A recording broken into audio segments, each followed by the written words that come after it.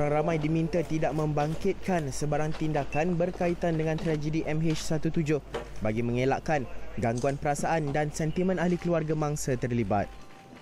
Menteri Kejaraya Datuk Fadilah Yusof berkata, pada masa ini perasaan keluarga mangsa tidak begitu tenteram dan sebarang gambar dan imej keadaan mangsa di lokasi yang boleh menjejaskan psikologi mereka.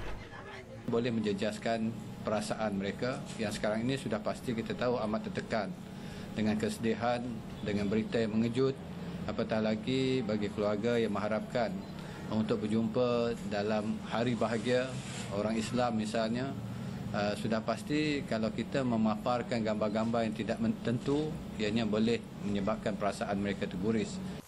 Penumpang dari Malaysia yang kedua terbanyak daripada keseluruhan penumpang MH17 yang ditembak jatuh di timur Ukraine.